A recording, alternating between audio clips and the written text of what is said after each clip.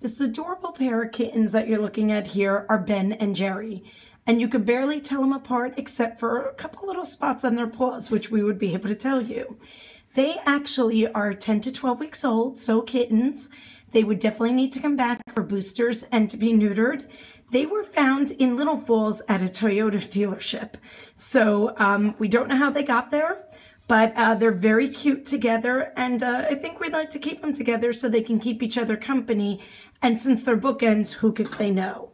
So they're a little different in personality, which you can see when you come in to meet them. We have one that's a little bit more outgoing and one more reserved, which is the perfect yin yang.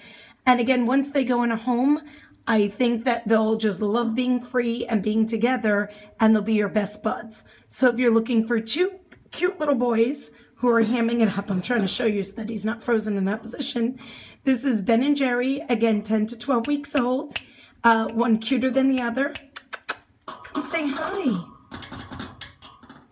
And I guess you're just going to have to come on in and see because he's doing his yoga pose and he doesn't want to move. So come on in and meet Ben and Jerry for yourself. There you go. See, he does move. Uh, you'll enjoy your visit.